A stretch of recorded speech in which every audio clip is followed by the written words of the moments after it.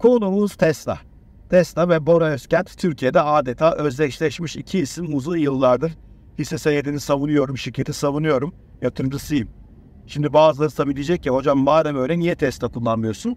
Çünkü maalesef Tesla'nın uygun olduğu yerler var, uygun olmadığı yerler var. Biz çok uzun tatiller yapıyoruz ve kalabalık bir aileyiz. Bundan dolayı bizim bir pick-up'a ihtiyacımız var. Bisikletler vesaireler taşırken insanın tek arabası olmayabilir. İpucu olarak da onu söyleyeyim. Deyip Tesla hissesinde olan bitenlere bir gelelim. Tesla hisse senedinde olan bitenler elbette can sıkıcı. Özellikle de kısa vadeli bir yatırımcıysanız çok daha can sıkıcı. Çünkü hisse sert düşüyor. Temmuz'da bilanço öncesinde 298 dolara kadar gelmişti. Tesla bilançoda hedeflerini tutturdu ama Wall Street'i brüt karlılıktaki düşüş korkuttu bir de Elon Musk'ın açıklamaları. Ondan dolayı o günden beri hisse cezalandırılıyor. Neredeyse o zirvesinden %20 kaybettik. Yılbaşına göre %150'ye yakın hala kazancımız var. Peki ne oluyor Tesla'da? Şimdi Tesla ile ilgili şu videomda uyarıyorum demiştim. Kısa vadede Tesla'da sorun var. Niye? Çünkü bir Amerika'da ve dünyanın her yerinde faizler yüksek böyle bir ortamda otomobil gibi yüksek fiyatlı ürünlere olan talep biraz azalıyor. Çünkü kredi bulmak zor. Olan krediler de çok çok pahalıya geliyorlar. Amerika'da yanılmıyorsam otomobil kredileri %2'lerden %6-7'lere kadar fırlamış durumda. E bunda Tesla'nın zorlanacağı belli. Bütün otomobil firmalarıyla beraber. Bundan dolayı Tesla ne yapıyor? Fiyatlarını indiriyor ve bu fiyat indirimleri sayesinde de satışlarını oldukça yüksek tutuyor. İkinci çeyrekte 466 bin araba sattı. Bu bir rekordu yine ve geçen yıla göre de çok ciddi bir yükseliş anlamına geliyordu.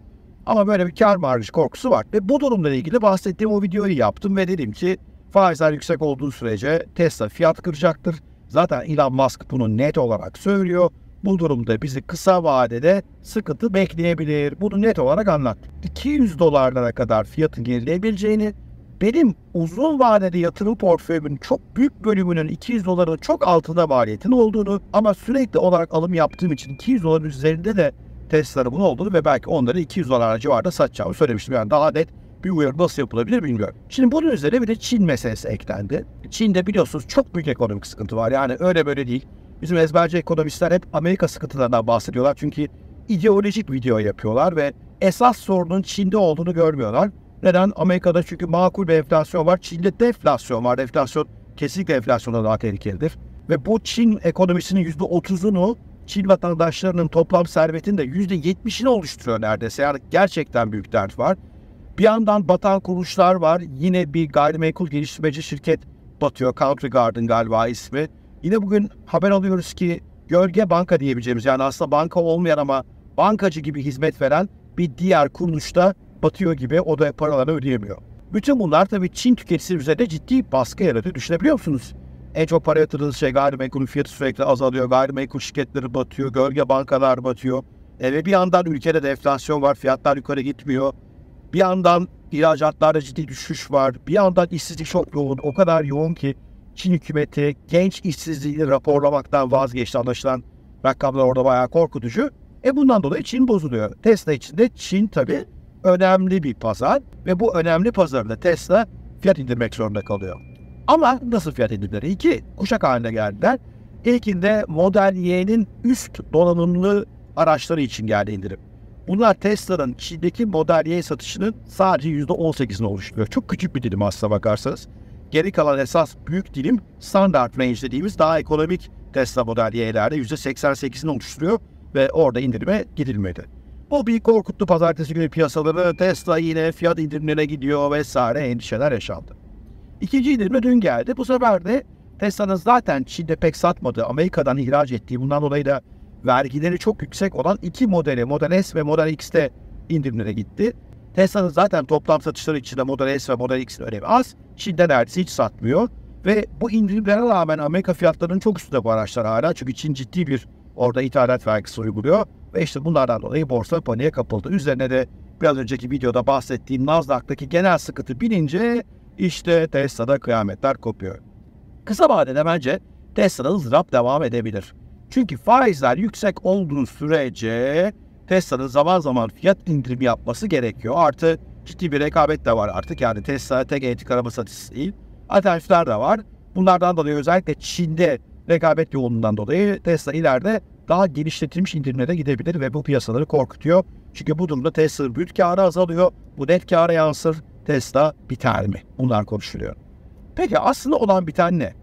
Bir kere buna haklı endişeler. Yani bu endişeler hayır demek mümkün değil. Herkes yatırımcısı olduğu şirketin daha yüksek kar marjında iş yapması ister. Ama Tesla aslında uzun zamandır net olarak dile getirdiği stratejisini icra ediyor. Daha ucuz fiyatlara elektrikli araçlar satmak. Bunun da birkaç aşaması var. Bir tanesi eldeki araçların fiyatlarını indirmek. Mümkünse maliyetlerini indirerek, maliyetlerde Tesla yol alan bir şirket ama tabii Tesla bu maliyet indirmelerde yeterince hızlı yol alıyor mu? Bu tartışılır bir konu. Çünkü kar marjı azalıyor. Demek ki oradaki maliyet kısıntıları yeterli değil. İkinci mesele daha ucuz arabaları piyasaya sürmek. Bunlar ikide iki somut gelişme var. Bunlardan bir tanesi Model 3'ün yeni versiyonu. Model 3 Highlander çok kısa süre sonra piyasaya çıkıyor. Bir iki haftası kaldığı söyleniyor. Çin'den geliyor araç. Ve muhtemelen orada bir takım yeni verimlilik sıçramaları var. Parça sayısını azaltmak gibi, aracın üretim teknolojisini geliştirmek gibi. Bu sayede Model 3'ün fiyatı biraz daha bile geriye gidecektir diye düşünüyorum. İkincisi de 25 bin dolar civarında satacakları bir de ucuz model projeleri var. Model 2 diye geçiyor. Onun da 2024-2025 yola çıkacağını tahmin ediyoruz. Ama esas konusu Tesla'nın diyor ki Elon Musk biz otonom sürüşte gerçekten ilerlemiş durumdayız. Maalesef Türkiye'de otonom sürüşte Tesla'nın en gelişkin versiyonları olmadan kişisel olarak test edemiyorum. Ama şunu biliyoruz Tesla'ların yoğun olduğu bazı bölgelerde mesela Kaliforniya'da adeta her yer Tesla dolu.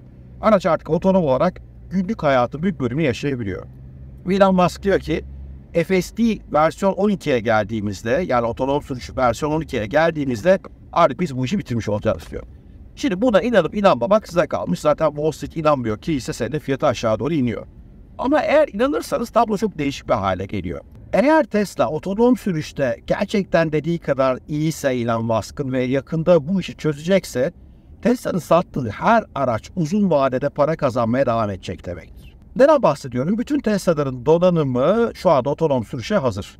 Yazılım güncellemeleri gerekiyor bu arabalara sadece ve o yazılım parayla alıyorsunuz.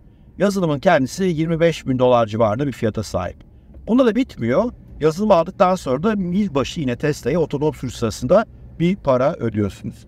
Hesaplamalara göre bir aracın ömrü içerisinde 50-60 bin dolar civarında ana yazılımla beraber bu mil başı rakamlar eklendiğinde Tesla'ya para kazandıracağı öngörülüyor. Diyelim ki 30 bin dolar olsun ya. Sen indirim yaptınız araçta 2 bin dolar ucuza sattınız. Kıyameti koparıyor piyasa. Daha sonra ama bu araç sayesinde 30 bin dolar ekstra geliriniz var. Ne yapardınız böyle bir durumda? E zaten dünyada ekonomiler biraz yavaşlıyor. Faizler yüksek. Yani kenara çekeyim. Ben karlılık peşine düşeceğim. Buradan ben satmam daha fazla araç mı derdiniz? Yoksa bir dakika ya ben daha fazla araç satayım o zaman bu dönemde. Çünkü sattığım her araç bana eninde sonunda ciddi bir karlılık olarak dönecek mi derdiniz? Elon Musk'ın stratejisi bu kardeşim. Elon Musk'ın bu stratejisine inanmıyorsanız bence hisse senetlerinizi elinizden çıkarın. Çünkü kısa vade ızdırapta gidecek. Wall Street kısa vadeyi düşünüyor. Wall Street basit bakıyor. Diyor ki kar marjları düşüyor kardeşim. Ben anlamam. O otonom sürüş olur olmaz. Bana ne kardeşim? Ben satarım diyor. Uzun vadede eğer oraya doğru Tesla gidiyor inanıyorsanız o zaman elinizde tutmanızda fayda var. 220 dolarla 225 dolar arası aslında hissesi toplamak için bence güzel bir aralık. Yatırım tavsiyesi değil ama ben böyle düşünüyorum. Fakat daha önceki videomda söylediğim gibi benim elimde zaten biraz pahalı hisseler de var. O yüzden 200 dolara kadar bekleyeceğim. 200 dolara düşersek tabii. Eğer 200 dolara düşersek orada biraz satacağım. O pahalı hisseleri bir kısmı zararı bir kısmı tapi gibi. Daha sonra dipten tekrar bakmaya çalışacağım. Çünkü 200'de kırarsak aşağı doğru bir yol olabilir diye düşünüyorum. 190-180'lerde destekler var gibi. Ama belki de o kadar kötü olmayacak işler onu tahmin etmek zor. Her halükarda kısa vadeli yatırımcıysanız eğer kısa vadeli bakıyorsanız ve korkuyorsanız olan bir taneden tutmayın hisse senetlerinize diyecek bir şeyim yok. Çünkü ben uyarıyorum her seferinde ne olabileceğine dair. Uyarılarım maalesef çoğu zaman da gerçekleşiyor. E bugün bahsettiğim Nasdaq da pek iyi değil zaten. Tesla buradan satış yiyebilir. Uzun vadede eğer otonom sürüş gerçekleşecekse Tesla'nın sattığı her araç ileride olağanüstü kar marjını önüne açacaktır. Bakın unutmayın. Tesla elektrikli arabalarda zaten en açık ara karlı şirket. Tesla bütün otomobil endüstrisinde Ferrari ve Porsche gibi birkaç ekstra ürünü kenara koyarsak en karlı şirket zaten. E bu durumda bu araçların üzerine bir de otonom sürüş eklenince olacakları size hayal etmenizi rica ediyorum. Anlatacaklarım bu. Kesinlikle yatırım tavsiyesi değil. Riskli bir yatırım olduğu da belli. Tesla çok oynak bir hissedir. Daha bununla ilgili çok paylaşımlar yaptım. Karar sizin. Ama bu kararı aldıktan sonra oturup her gün ekranı karşısına Tesla fiyatına bakarsanız epey bir üzülürsünüz. Sevgiyle kalın, hoşça kalın. Soru ve yorumlarınızı her zamanki gibi heyecanla bekliyorum.